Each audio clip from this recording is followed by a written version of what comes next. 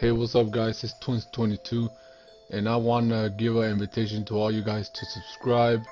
This is new content we're gonna put out. Uh, scary stories. Me and my brother, we we are more into like the scary stuff, and um, we want to go ahead and start this YouTube channel. Everything scary. My brother said he's probably gonna do a couple of top fives, and um, I'm gonna do some scary stories. So personally i want you guys to send me some some of your personal stories scary true stories okay? I don't want nothing fake. I want scary true stories. Uh, to my email i will link it down below and i will really greatly appreciate that. But let me know what you guys think down in the comments below. Without further ado let's start the video are elves real? This happened to me and my brother back when we were 9. So I know for a fact what I saw was just not my imagination. My parents were out next door at the neighbor's house. So they weren't far away but let me get something clear. My parents are not the type of people to be playing jokes. Me and my brother were playing on our Game Boys back when Pokemon Yellow, Blue, and Red were popular. So we are playing, minding our own business when we hear a knock at the door. The doorknob started moving as well.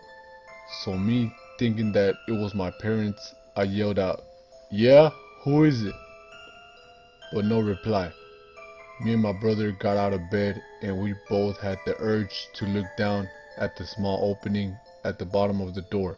And what we saw still haunts us and remains one of the biggest mysteries of our lives.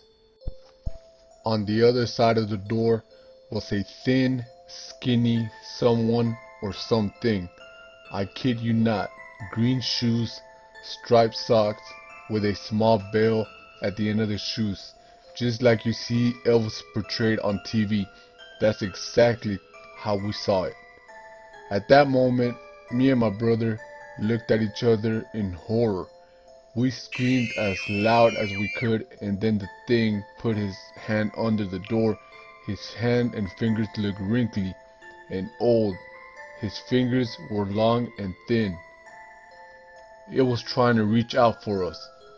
My brother and I stood frozen in shock and fear. All of a sudden we hear the knock at the door. It was my parents. They yelled out, We are home. So that's how I knew for a fact it was not one of them.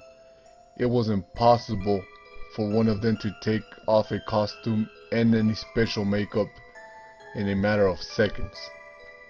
But as soon as my parents knocked on the door, the thing disappeared just as quickly as it had arrived. That terrifying encounter until this day haunts me because I never found out what it was and to think what if we would have left the door without the safety lock on? We might have not been here.